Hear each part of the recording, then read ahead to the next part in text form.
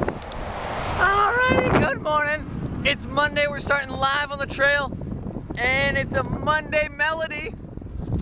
Ready for the Monday melody? Boom, boom, boom, boom, boom, boom, boom, boom, boom, boom, boom, boom, boom, boom, boom, boom, boom, boom.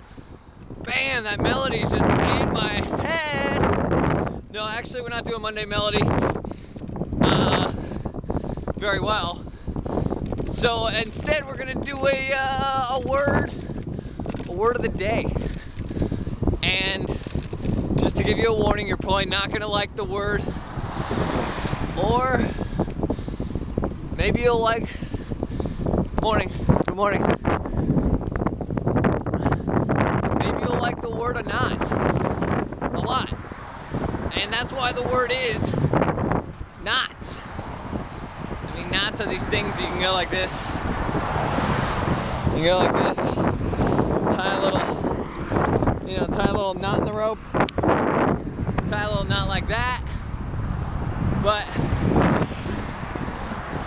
or you know, you're out on the ocean, you got nautical miles to deal with.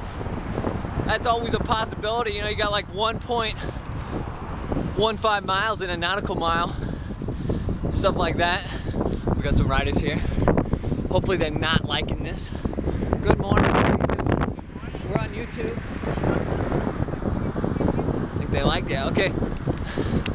You know, you could also get a knot in your neck like I got right now, or in your body somewhere, and you gotta you gotta stretch it and untie that a little bit with a stretch. But that's not the segment